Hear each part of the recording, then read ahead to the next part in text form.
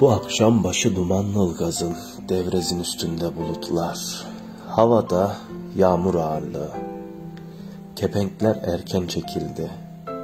Han önünden dağıldı memurlar. Kısa kesti paydos düdüğünü çeltik fabrikası. Sustu dokuma tezgahları, durdu 2000 mekik, 2000 dokumacı, vardı uykuya. Saat biri 35 geçiyor. Köpekler silkindi uykudan, değişti bir anda manzara. Canlı cansız, devrildi ne varsa ayakta. Yok oldu insan emeği. Döküldü sokaklara insanlar. Ölüler kaldı yerinde. Vakitsiz giden hastalarına üzülecek hemşireler kalmadı. Sağ kalan çocuklarımız bir daha karşısına çıkmayacaktır öğretmen Kazım'ın. Çocuğunu emziren kadının soğudu memesinde sütü. Kimler dönecek köyüne hana sağ inenlerden?